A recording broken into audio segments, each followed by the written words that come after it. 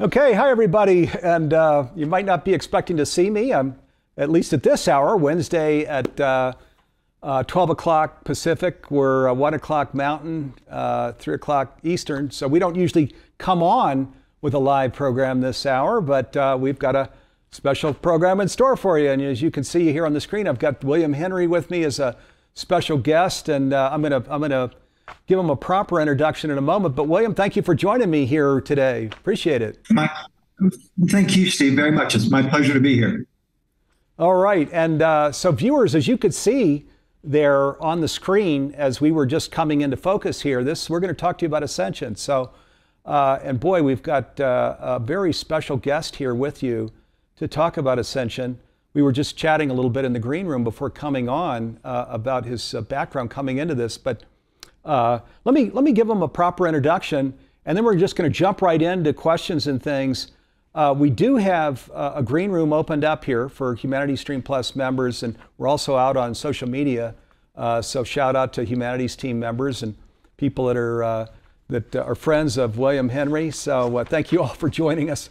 If you do have questions or comments that you'd like to bring to William, throw them in social media, or if you're in the green room, just throw them there in the chat and uh, we'll try and get to them here during this program. It's about a 30-minute program, but uh, uh, if you throw your questions at us early, we can we can probably get to them. Okay, so let me introduce William here. He is the author of Ascension: uh, Divine Stories of Awakening the Whole and Holy Being Within, a book in the Common uh, Sentient series. He is an, an investigative mythologist, uh, art historian, and TV presenter. He is an internationally recognized authority on human spiritual potential, transformation, and ascension. He has a unique ability to incorporate historical, religious, spiritual, scientific, archaeological, and other forms of such knowledge into factually based theories and conclusions that provide the layperson with a more in depth understanding of the profound shift we are actually experiencing in our lifetime. The spiritual voice and consulting producer of the global his, hit History Channel program, Ancient Aliens, and host of the Gaia TV series, The Awakened Soul, The Lost Science of Ascension, and uh, Arcanum. I hope I'm pronouncing that right, William. Uh, William Henry uh, is your guide into the transformative sacred science of human ascension. So that's uh, quite impressive. You've uh, really got some pretty substantial things under your belt there, William, and thanks again for joining me here today. My pleasure. Thanks. Thank you once again for having me. So, uh, hey, let's jump right in here, and maybe we can start just uh, by talking about your book, Ascension. Uh, for people that aren't familiar with your book, what, what is that book about, William? The book is about the, the transformation that is that we're undergoing right now. We, we refer to it as ascension, which is basically uh, an up leveling, a, a, transformation of the human species. And what I wanted to do with the book is provide contemporary conscious ascenders with a uh, a timeline.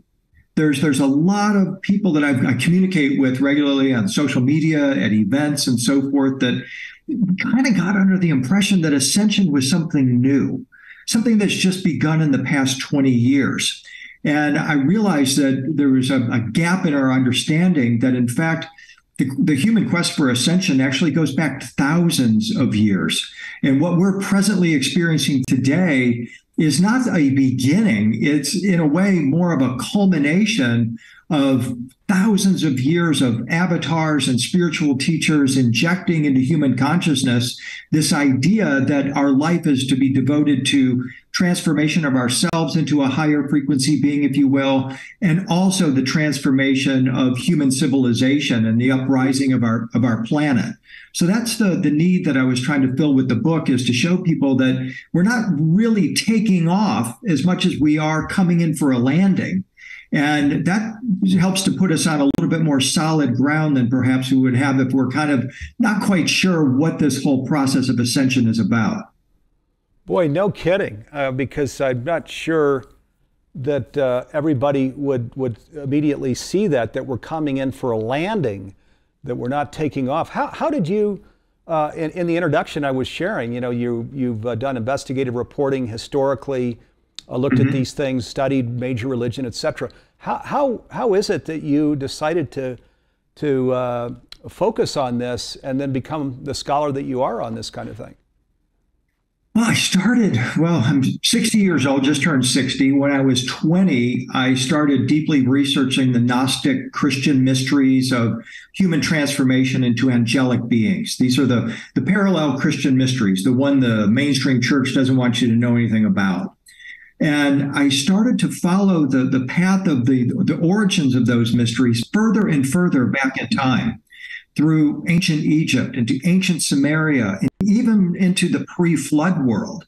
And I began to realize that there's long there's long been a presence on our planet that is seeking to infuse human consciousness with this understanding that we're sort of in a in a transformational phase when we're in our human existence that our human body is, is meant for something greater than just wandering around on our planet using it as a as a skin suit if you will. That our body was in fact designed for ascension.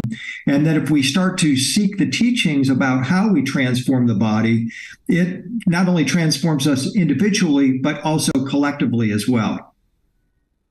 Yeah, boy, those are uh, fascinating perspectives. Let me, let me. One thing you know that I immediately go to here, uh, William, in, in this is so as as you go into your personal life, you know, and just immediate benefits of of this where you know i'm guessing you live your life a completely different way than at 20 years old when you were just like the rest of us walking around unconscious everything separate from everything uh, what are what are maybe a few of the things that are really just quite quite different you know in terms of how you live your life now with this awareness that you have well, a couple of things immediately come to mind. One, when you get onto the ascension path, you are pretty quickly presented with the concept that our flesh and blood body isn't our true divine nature, that indwelling with all of us is a divine being, referred to as a light being, an angelic type of a being.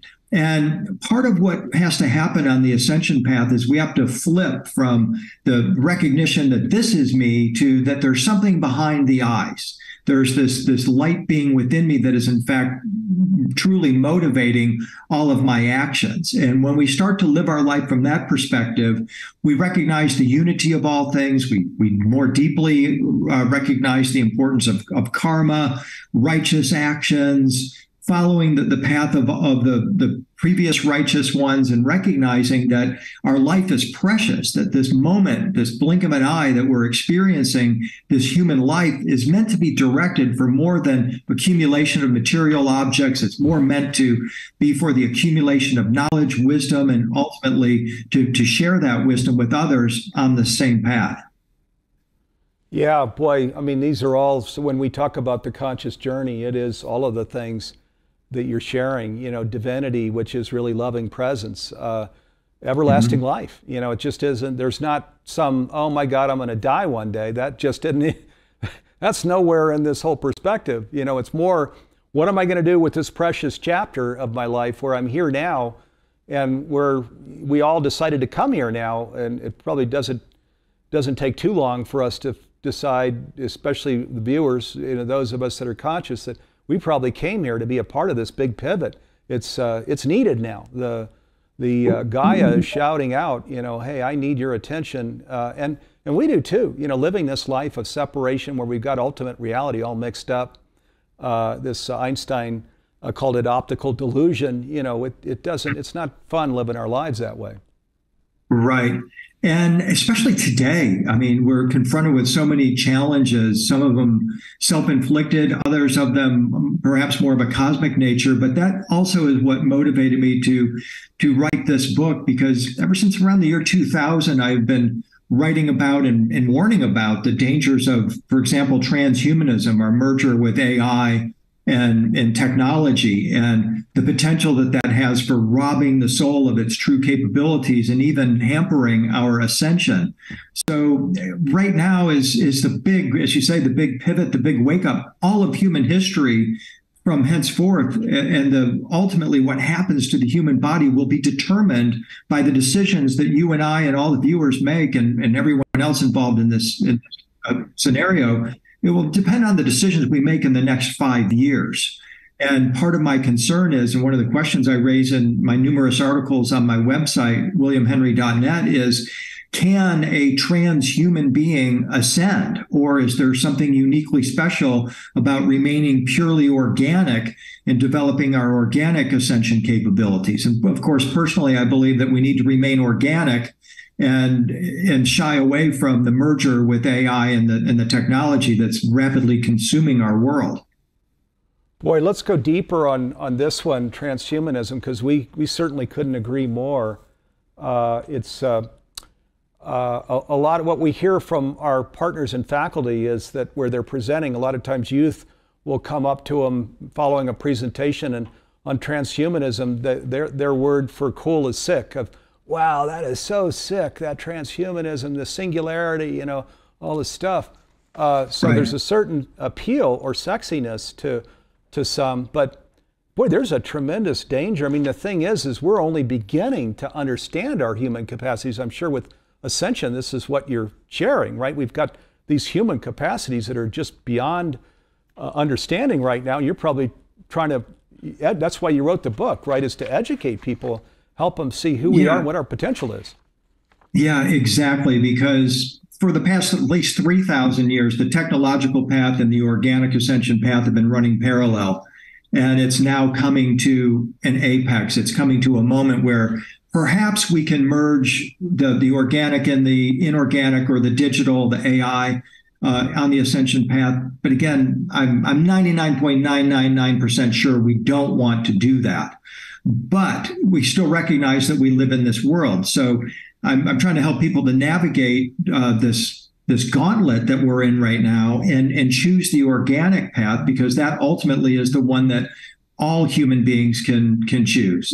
If, they, if, we're going down the technological path, chances are it's not going to be for everyone. It'll be for a very uh, small elite part of the human population that will actually have access to that technology. Yeah, well, uh, certainly so true. So, so let me um, let me ask you this: as you travel around the world with this expertise that you have. Uh, do, uh, uh do people immediately get the importance of ascension? And, and if not, how do you help them to see the importance of, of this uh, work that you do? You know, it's funny, Steve, you asked that because I, again, I've been teaching this for 20 years and, and talking about it in tandem with transhumanism. And people, until five years ago, uh, four years ago, be like, what are you talking about? What is this ascension business you're talking about? What is transhumanism? Never heard of this. But now it's becoming so apparent that that is the case and it's gone mainstream. And, and that is part of the transformation. And so, again, the important uh, aspect of this to me is to, to recognize that we have been a species, as we've been described as a species with amnesia. We've been up in the air we've been floating around, uh, kind of in the ethers, wandering around spiritually. A few people, a few masters, avatars here and there, kind of understanding the concept of ascension and transformation. But now, as I say, it's like we're coming in for a landing. We're no longer up in the air. We're getting our feet on the ground and recognizing what it means to be a whole, holy, and complete human being, and recognizing that the mainstream structures that we've relied on for literally centuries, if not millennia, who have advocated the idea of ascension, perhaps aren't the ones that have the key to our ascension. They, in, many ways, kept us locked in place, kept the, the gate to the higher realms closed. But now individuals in smaller communities are, are taking it upon themselves to seek out these mysteries, to seek out these ancient teachings and recognizing that it's, it's more of an individual process than it is a collective, this idea of ascension. And they're, they're starting to understand how it fits in with the yoga they've been doing, the meditation, the dietary changes, the positive thinking, the visualization, all of these tools and practices are actually go- leading somewhere ultimately where they're leading is to again this state of greater wholeness or holiness that uh, culminates with our ascension as an individual as well as a species. Yeah i get it. I mean isn't it wonderful that there is this convergence going on right now that uh, when we talk about conscious living which in, there's so many dimensions to this but that we're all one faces of the one and the science is affirming this now that it's a non-dual universe. Science is also affirming this now the aspect of inner uh, that we, you know, we need to go within. If we don't go within, we go without. So some of these things yeah. are really now, maybe 20 years ago, these were, I'll call it more fringe. Uh, Ascension 2, yeah. uh, they're, they're becoming less fringe. There's the sense that, my God, this is actually ultimate reality. I better pay attention. This isn't some side gig, you know. This is kind right, of what our exactly. life is about. So exactly. and then to, you uh, factor in yeah. Like the prophecies, yeah. the book of Revelation describes a new human living in a new earth. And this is the basis for many of the ascension ideas that people talk about today, shifting from 3D to 5D, for example. That that's right out of the book of Revelation. That's the origin of it. And when you track down the, the origin of it, gives you a little bit more of a, a sense of uh, connection to the mystery. It's not just some individual person that's been that, that says this. It's actually a, a, a, a, series of prophets and, and mystics and teachers that have been advocating this. And we recognize and start to see the signs in our world that the, the new human is here. It is us. The new earth is uh, unfolding and awakening all around us.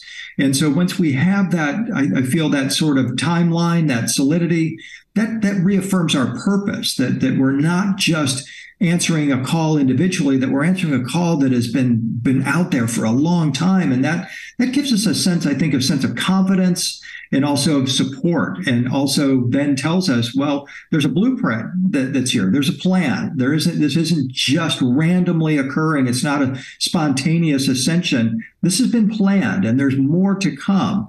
And so as we get along this path and start recognizing where we've come from, we're more able to learn where we are going. Yeah, yeah, no kidding. Uh, brings us right back around to where we started, that uh, we're coming in for a landing here.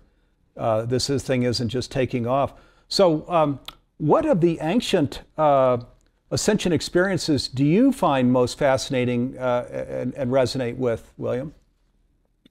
I, I really started, Steve, with the idea of the cloak or garment of light. And that's something that continues to just fascinate me and, and, capture my imagination. Going back to the earliest human stories, there's this idea that humans originally were energetic light beings, and this, this status as a light being was symbolized by a garment of light. This was lost in the Judeo Christian and Islamic tradition during the fall of man when we were evicted from Eden and found ourselves suddenly in these physical flesh and blood bodies. All of human history really is a quest to return to our original divine light being status and to acquire or reacquire this garment of light. And so 25 years ago, I started tracking that garment through all the world's religious and mythological traditions and learning about their teachings about how to acquire that, how it's symbolized in artwork, and ultimately how it culminates in what we think of as an ascended being is a luminous humanoid radiant being. And so that, that, that garment of light really is the, the my key specialty in terms of understanding the the, the history the teachings and the, the the symbolism. Wow that's fascinating. Where what uh, kind of text then uh, did did, did uh, reveal this the the fuller story that you're talking about here, William? You know, it's it's it's in the temple walls of Egypt. The Sumerians said uh, this garment of light was a gift from the Anunnaki gods. They they they considered it to be an actual physical garment, but it's also a teaching. It's a it's a frequency or vibration that can transform an ordinary human into a divine being. Elijah, the 8th century Jewish prophet, possessed it. He passed it to his priest Elisha. John, uh, excuse me, Elijah then reincarnates as John the Baptist. He transmits it to his cousin Jesus. Jesus demonstrates it in his transfiguration. When, when, you, when you start to follow it, you realize this is at the core, it's at the center of literally all the world's religious and spiritual traditions. The, it's called the Coat of Many Colors. It's the rainbow light body of the Tibetan tradition. It's the crossed garment in ancient Egypt every spiritual and religious tradition speaks about this cloak or garment and the necessity of flesh and blood humans to acquire it en route to their ascension into uh, higher frequency realms. In other words, if you're going to enter the heavenly realms, you got to be dressed appropriately, and you got so that means you got to be wearing your garment of light. So you mentioned the rainbow light body. Uh, can we go a little deeper on that, and can anybody attain that, William? Yes. So the idea is that, and this is a, a, not specifically a Tibetan tradition. I've I've tracked it into the, the Egyptian, the Christian, the Tibetan. It's really a cosmic teaching. Uh, and the idea is, is that our body was designed to have its frequency accelerated until the physical flesh and blood body dissolves into five colored rainbow light, leaving behind only hair, toe, and fingernails, which have no nerves to be transmuted. And once we enter into this glory body, rainbow body, resurrection body, or light body, we're then able to, to uh, use a, a Star Trek term, beam ourselves to other dimensions, other planets, and then phase back into physicality.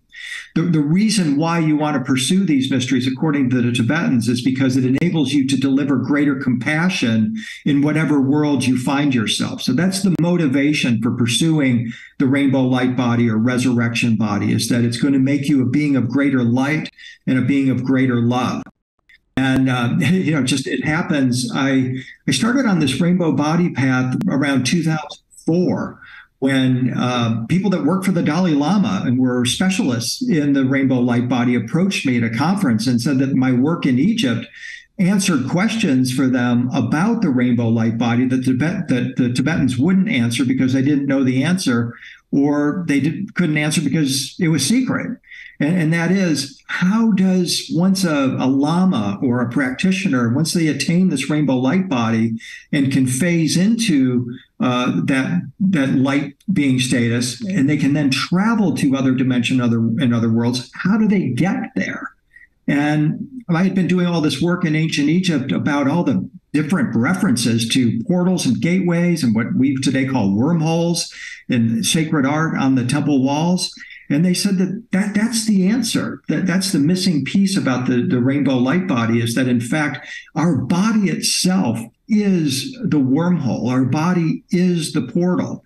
And once we start to look at our human body from that perspective, that instantly puts us on that, that higher ascension path. And we realize that the technology that we're seeking, that, for example, high energy physics types are seeking today to open wormholes to travel to distant places in our galaxy or maybe even other dimensions, that, that, that technology that they're seeking is actually our human body.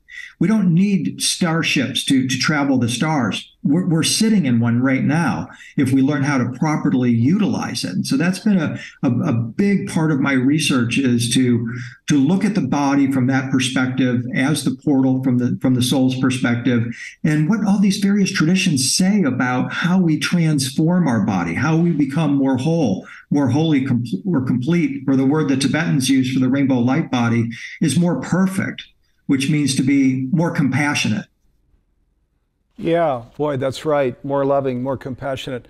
Wow, that is fascinating. Um, and of course, um, you know, we're all familiar with multi, that we're multidimensional beings, which gets into what we're talking about here. We're not, which means we're not just here, present now. We're present. There's right. no such thing as time. There's only this, uh, the the present moment of time, actually. Right. And, which means that Perception. we're everywhere all at once. So we're ascension that you're talking about is where we're learning to be present into these multiple uh, dimensions that is is part of actually all of our profiles and identities, isn't it?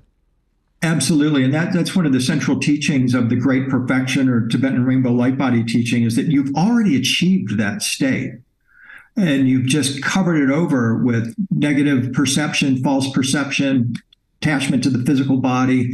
And really samsara it's just it's it's an illusion. And once we start to seek that aspect of ourselves it begins to reveal it. And I, I always and i talk about this in uh, my ascension book I, people ask well how do you attain the rainbow light body? And the, the, the simple answer and which is the most powerful to me comes from michelangelo who was asked by an apprentice master how are you going to sculpt an angel out of that block of stone and he said something to the effect that I'm going to look at that block of marble and I'm going to remove everything that doesn't have to do with the angel and I'm going to set the angel free. And that's part of the challenge all of us have is to look at our lives and say, what, what am what am I doing in my life? And does that actually serve my ascension? Does it serve my ability to manifest or reveal my true divine nature?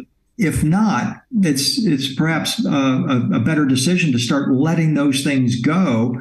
And in the example of Michelangelo, if we if we let go of the the things that are our blocks in, in the marble example, the angel will be all that's left.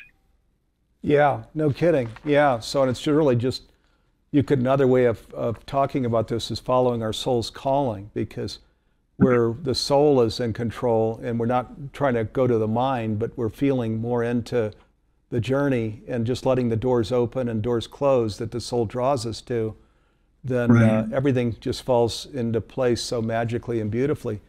Uh, so uh, ascension experiences, I'm, I'm fascinated by this. So, and I know you write about this, and I'm sure in your own life you experience this. Can can you uh, tell us about like ascension experiences that you like uh, that uh, would be really even bring more description to kind of how this works. Yeah, uh, in my own experience, uh, the first time I was in the Great Pyramid in Egypt 20, 25 years ago, I, I, knew the Great Pyramid was an ascension instrument. That's that's what the, the academics say. That's what the ancient Egyptian belief was, is that it was a, a hardware device, if you will. The pyramid text, the world's oldest religious text, 3,500 years old, are the software. And they tell of the Pharaoh ascending the stairway to heaven. The, the Pharaoh became a star the, the Pharaoh became like a flash of lightning, which means if he's a flash of lightning or he's a star, he's become a plasma being. So we're, we're talking about taking our, our flesh and blood body and trans, transferring it into a, a plasma state, transforming it into a, a plasma state like a star. And so I had that awareness, but uh, in this first visit to the Great Pyramid, I was sitting in the king's chamber and just meditating, had my eyes closed, think about where I'm at, the most powerful building in the world, center of the land masses. So I just start sending love out to my my family and friends back home and, and love all around the world. And all of a sudden, this blue eye comes out of nowhere and it's beaming bliss at me. And I didn't know what it was. And it was only when I left the pyramid did I learn that it was called the blue eye of Horus. And I then I started to see depictions of the Great Pyramid with the blue eye of Horus exactly in the location of the king's chamber. And I realized at that moment that I had come into conscious awareness or contact with what I term the intelligence behind the pyramid. And I, that really began my quest for ascension was to to unpack what must have been downloaded to me at that moment about not only the, the Great Pyramid on Earth, but other civilizations where we find uh, these these teachings are, are offered, where pyramids are most certainly built, and, and what is the consciousness behind uh, the Great Pyramid? And I soon very quickly began to realize it had to do with ascension, the codes of ascension, human transformation into celestial beings, and ultimately harnessing the power of the body as uh, the stairway to heaven itself. Wow, what a fascinating experience that must have been. Yeah, and then to spend that quality yeah. time, you know, kind of peeling the onion back on what did this mean? right. Wow, extraordinary. And do you, uh, in the programs that you lead, do does is does this happen with any frequency where people can experience something that's just astounding like that? Absolutely. You know, it's there's so many different tools that are available today, wonderful meditation programs, visualization. Um, people are now experimenting with dimethyltryptamine, DMT, MDMA, other uh, synthetic uh, substances, molecules that are triggering these deep states of love. And they're actually encountering light beings while they're using these substances. So uh, these these are ancient teachings and ancient tools that are now coming into our awareness today.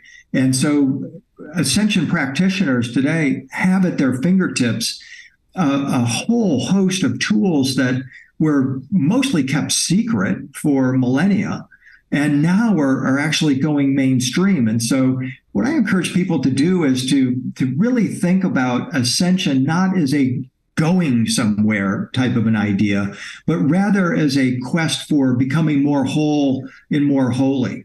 And all of us, I think, probably have an idea in our mind of ways that we can become more righteous, become more whole beings, things that we need to work on to heal ourselves, and, and ways that we can just, in its very essence, improve ourselves. But the problem is we're often procrastinating. And I encourage people to start with those things that you're procrastinating on. And the idea is, is that we're already those whole beings. And as you start to do these new things that you've been perhaps procrastinating on, that whole and holy you just manifests. And start with the easy things. Get a snowball effect going. Gently start raising your frequency. It's not an all at once process. It's an ongoing unfolding, if you will. The key thing is, is to start and then also to be consistent with it, but also to have a vision of what that that end aspect of yourself will look like and feel like and then begin to do the things that encourage that that feeling of that wholeness and holiness yeah boy i love that the whole and holiness which is what uh, that's the staple of life here when we're living consciously uh, where it's really what it's all we can do is the whole and holy thing where we're playing our particular role bringing our particular right. gift from our particular diversity to the Gaia and the and, and humankind around us. So beautiful. Well, so William, as we uh, wrap up here, where where do we go from here? You know, as we talk about ascension, where, what are as we as we look out into the months and years ahead, where do we go from here? Well, I think what part of the ascension, when you when you look at it from the perspective of those who really inaugurated this process of ascension, is that it, it's more of a, a connection with beings from out there that are coming here. Humanity isn't necessarily going somewhere. Earth is going to be the nexus of a gathering of avatars, ascended beings, and, and more divine beings. And so part of what we're doing now is setting up that base frequency on Earth where these these other beings can come to dwell here. And this is where it now interfaces with what's happening with UFO disclosure, um, angelic revelation, Book of Revelation, second coming type of conversations. And the avatar idea, of course, isn't solely Christian. It's found in many of the world's uh, spiritual and religious traditions. And so that's what I encourage people to focus on is what we can do to make Earth more like heaven because that is going to ultimately be the, the, what is going to accelerate our transformation and our, our union or reunion with the beings that are gathering here now. Yeah, yeah, amen. Well, it's all about uh, creating uh, health and healing and well being and really creating this sustainable, flourishing earth that uh, uh, maybe was always the invitation, but we're, we're, we maybe we missed the point here. And which is why we have these challenges out in the world. But increasing sure. numbers of people are awakening and kind of seeing what uh, w- what ultimate reality really is. It's not the optical delusion. You know, that that kind of that gets cleared up, and we see, oh my God, we're you know we are actually deeply interconnected, interrelated with not only those around us, but the entirety of the cosmos. And then a lot of the things that you're bringing in uh, start to fall into place here, don't they? Absolutely, absolutely. Yeah, well, thank you. So, William, again, can you share for people that uh, want to follow your work? And I know you're going out to California, you're going to be presenting with a bunch of other uh, uh, uh thought leaders. You want to maybe just share a little bit about your website and the event that's coming up? And also in Nashville, I think you've got one in California and Nashville coming up. I do. Thank you. Yeah, thank you very much. I'll be, uh, my website is williamhenry.net. Uh, this weekend, January 13th through the 15th, 2023, I'll be in San Diego for the Conference for Consciousness and Human Evolution with Gregg Braden, Nassim Haramein, Bruce Lipton, others, uh, Dr. Uh, J.J. Hurtak and, and Desiree Hurtak, um, among others. And then uh, my next big event will be in Nashville on April 14th uh, and 15th, which is devoted to the ascension teachings of Mary Magdalene. I, I, focus heavily on understanding the divine feminine aspect of this, in particular, the what Mary Magdalene taught about ascension, and I'll be sharing that during that weekend. Fascinating. Well, uh, so check it out, WilliamHenry.net, and uh, uh, William, we look forward to having you back. Uh, thank you so much for joining us here today. Uh, really appreciate it, viewers. Thanks for tuning in, and uh, we're actually taking off next week Uh, but the following week, we'll be back with uh, Andrew Harvey on a Wednesday at our normal time, 9 a.m. Pacific, 12 noon Eastern. So join us week after next with Andrew Harvey, and we're going to uh, pick up on other uh, real uh, fascinating and important conscious living topics. Okay, William, thank you, and we look forward to uh, partnering with you as we go into the future. Thanks very thank much, my so friend. Much. Thanks, viewers, and uh, have a uh, have a fantastic day. Peace and love and blessings. Yeah.